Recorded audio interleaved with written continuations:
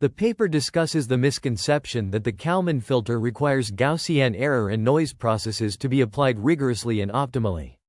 This misconception has led to the dismissal of the Kalman filter in favor of more complicated or heuristic approaches for non-Gaussian error applications.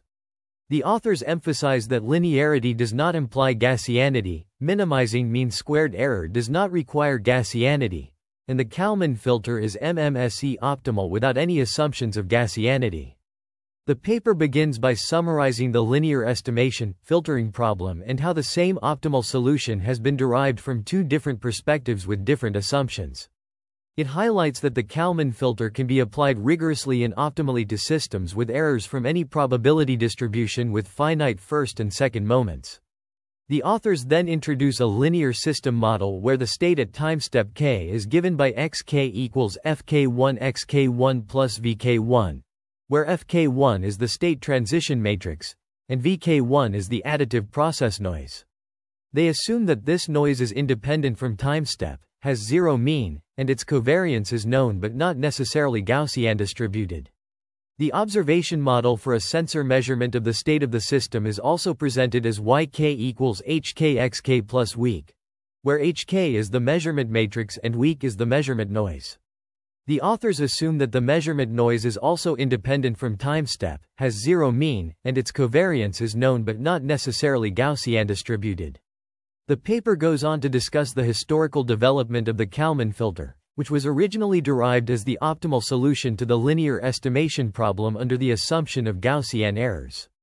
However, the authors emphasize that the optimality of the Kalman filter does not rely on Gaussianity, but rather on the assumptions of linearity, independence of errors, and knowledge of the error covariance. They also discuss how the Kalman filter has been applied to nonlinear systems using the extended Kalman filter, EKF, and the unscented Kalman filter, UKF which approximate the state and error covariance through linearization or sampling methods. In conclusion, the paper aims to clarify the misconception about the Kalman filter's requirement for Gaussian error and noise processes. It emphasizes that the Kalman filter is a versatile tool that can be applied rigorously and optimally to systems with errors from any probability distribution with finite first and second moments, making it a powerful tool for various engineering and scientific applications. The Kalman filter is a widely used optimal filter for estimating the state of a system based on measurements, with its optimality derived from the perspective of L2 norm error minimization via orthogonal projections. However, there is a common misconception that the Kalman filter can only be applied when errors are Gaussian distributed. This misconception arises due to the fact that the filter's mean and covariance estimate can be interpreted as parameterizing a Gaussian distribution representing the exact error distribution conditioned on the sequence of observations, under the assumption of Gaussian errors.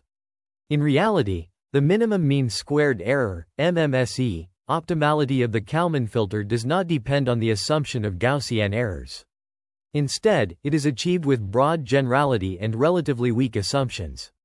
The filter guarantees that the expected squared error of the system estimate decreases at a certain rate, but it does not provide information necessary to answer questions about the probability of specific events, such as the mean position estimate being within 1 meter of the true position. To address this limitation, Ho and Lee, 14, rederived the optimal filter from a Bayesian perspective, replacing the mean covariance pair with the full probability density function. This approach allows for a more comprehensive understanding of the system's state and its associated uncertainties. The Kalman filter operates on linear state space models, with the relationship between the system state and measurements given by equations 1 and 2. The filter is initialized at time step 0 with an estimate x0, 0 and an error covariance PO, 0, which do not have to be Gaussian. The goal is to compute an estimate xi, j at time step i based on all observations up to time step j, along with its associated error covariance pi, j. The relationship between the estimate and the state is given by equation 3, and the mean squared error in this estimate is given by equation 4. In practice, the covariance matrix pi, j can be interpreted as representing the best available upper bound on the expected squared error associated with xi, j as shown in equation 5. In conclusion, The Kalman filter is a versatile tool for state estimation that does not require Gaussian errors. Its MMSE optimality is achieved under general conditions, and it can be adapted to provide a more comprehensive understanding of the system's state through a Bayesian perspective. The paper discusses the Kalman filter, a widely used algorithm in signal processing and control systems, and its relationship with Gaussianity. The authors argue that the Bayesian interpretation of the Kalman filter, which is often presented in textbooks and introductory expositions, can lead to misconceptions about the filter's performance. Specifically, the Bayesian derivation implies that Gaussian distributed noises are somehow more conducive to good filter performance, which is not necessarily true. The authors highlight that the Kalman filter is actually MMSE optimal, meaning it minimizes the mean squared error between the estimated and true states, without any assumptions of Gaussianity. This is shown through the Chapman-Kolmogorov equation, which describes the prediction step of the filter, and Bayes' rule, which describes the update step.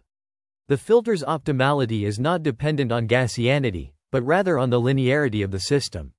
The authors also discuss the limitations of the Bayesian interpretation, which requires exact and complete knowledge of the full statistics of all noises.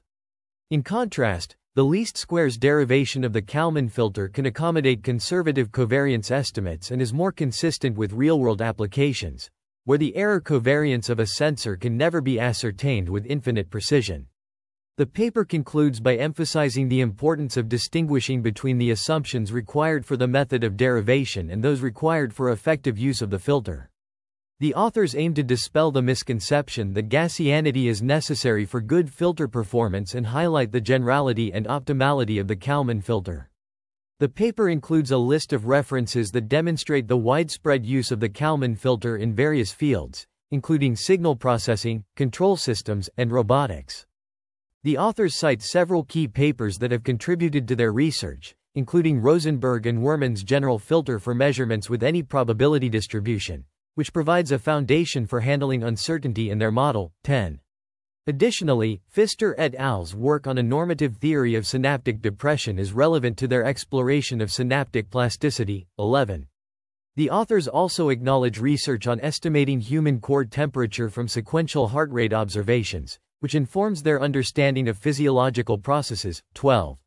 Furthermore, they draw on the use of auto-associative neural networks for dynamic data reconciliation, as demonstrated by Bai et al. 13. The author's approach is also influenced by Bayesian methods, as exemplified by Ho and Lee's work on stochastic estimation and control. 14. This is reflected in their use of probabilistic graphical models to represent complex relationships between variables. The author's model integrates multiple sources of information, including physiological signals, environmental data, and prior knowledge, to estimate the state of the system. The probabilistic graphical model is composed of multiple layers, each representing a different aspect of the system. The authors use a combination of discrete and continuous variables to represent the system's dynamics. The model is learned using a variational inference algorithm, which enables efficient computation of the posterior distribution over the model's parameters. The author's approach is characterized by the use of a probabilistic framework to handle uncertainty and ambiguity in the data. This is reflected in their use of Bayesian methods and probabilistic graphical models. The model's performance is evaluated using a range of metrics, including accuracy, precision, and recall. The authors acknowledge several limitations of their approach, including the assumption of a specific probabilistic model and the requirement for large amounts of training data. Future work will involve exploring alternative models and addressing these limitations.